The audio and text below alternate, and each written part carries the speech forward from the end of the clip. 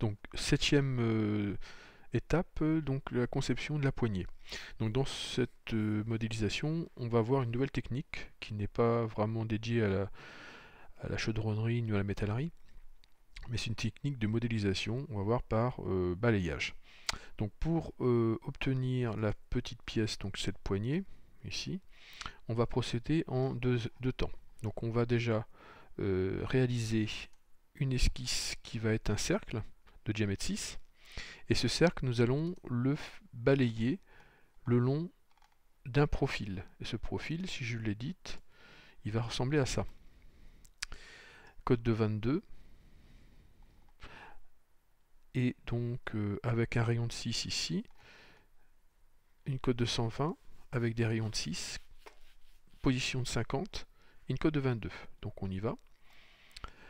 On retient bien ces cotes, 22, 50, 120 et diamètre 6. Alors, pour pouvoir réaliser cette pièce, on va donc créer une nouvelle pièce. On va prendre par exemple le plan frontal, clic droit, éditer l'esquisse, et on va réaliser donc un premier cercle. Et ce cercle, on va le coter à diamètre 6. 6. Voilà. Ensuite, on va choisir, valide, on va choisir un plan qui va être le plan vertical, qui va être perpendiculaire au cercle. Clic droit, on va ouvrir une esquisse. Alors, pardon, là il faudrait que je ferme cette esquisse-là, dans un premier temps. Plan vertical, je crée une deuxième esquisse.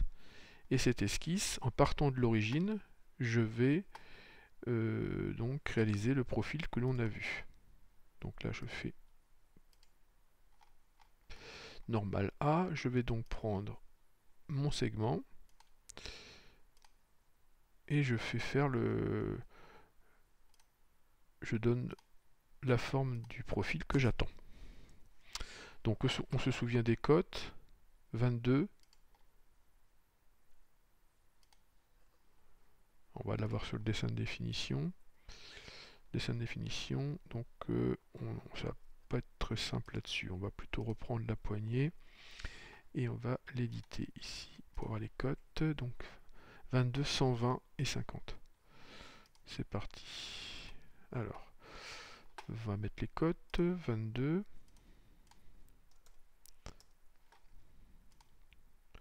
50 120.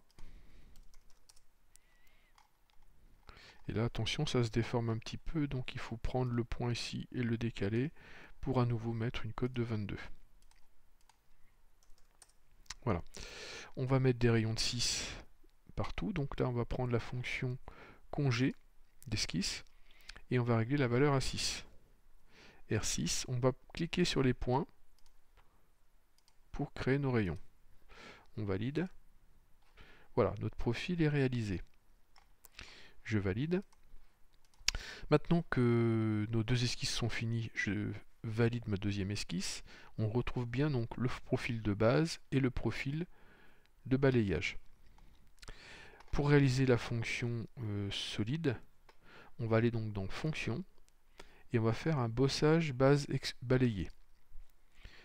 Euh, on va donc euh, prendre comme élément de balayage l'esquisse 2. Si l'esquisse 1 n'apparaît pas, on va sur le plus ici et on va prendre l'esquisse 1 qui apparaît maintenant ici et on va donc obtenir directement la pièce en 3D. Voilà, c'est terminé pour la poignée. Donc vous n'oubliez pas de l'enregistrer dans votre dossier personnel sur le bureau, sur le réseau, document, caisse à outils et vous l'appelez poignée.